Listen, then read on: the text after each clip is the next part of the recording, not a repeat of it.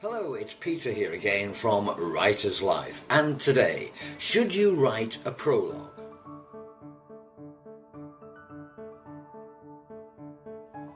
There's been a long running debate when it comes to including a prologue in a novel. Many writers, editors, and publishers claim to be dead against it.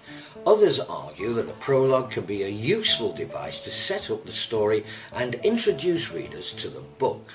The truth is that there may be no right or wrong answer, and it all depends on how well you write your prologue and what the point of it is that should make your decision for you.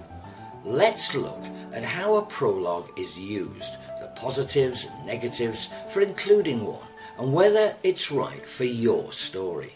So, what is a prologue? A prologue comes before the first chapter of your book and could be absolutely anything. A short passage, an extract from a letter, a snippet from your protagonist's life years before the events of the story take place or years after. It's really up to you However, your prologue must have some purpose. The idea is that once your readers read your prologue, they are excited and intrigued to see how this little extract fits into the rest of the plot. Prologue don'ts. Don't overload with information. The prologue isn't a place where you get to simply dump a load of information on your reader. That's no way to introduce them to your story. If you're desperately trying to give your reader lots of weird and wonderful facts about the world you've created, about your character's history, and so on, their eyes will just glaze over. And that's before they've even got to chapter one. Don't make it skippable. Your prologue is going to be the first thing that your readers read when they open your book. It therefore better well make an impact on them. Your writing should be fresh and exciting. The details should excite and interest them.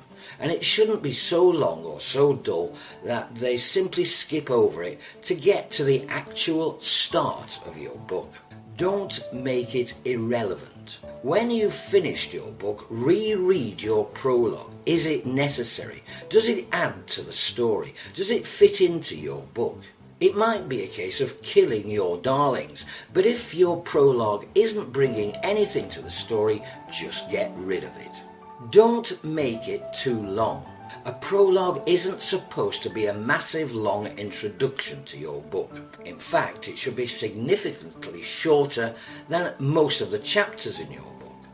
If yours isn't, it might be time to take another look at it and consider how you can restructure your prologue to ensure you keep it short and sweet.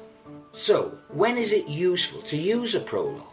A prologue can be helpful as a way of introducing some material a significant event or scene that is out of time with the rest of the story. They should help readers understand the plot or perhaps a relationship between two characters or something about the world they live in.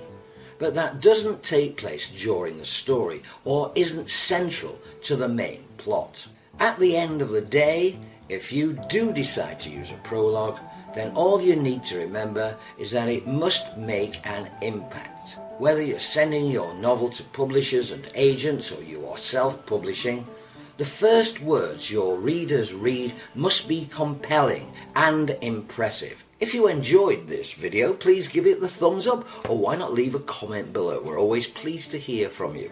And why not sign up for our newsletter and get your free Writer's Toolkit? Simply visit our website at writerslife.org. See you next time.